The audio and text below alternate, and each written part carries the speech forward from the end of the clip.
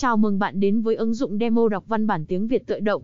Chào mừng bạn đến với ứng dụng demo đọc văn bản tiếng Việt tự động.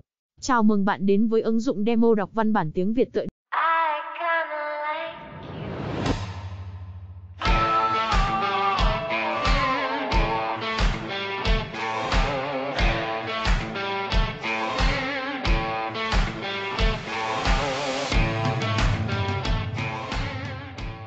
động.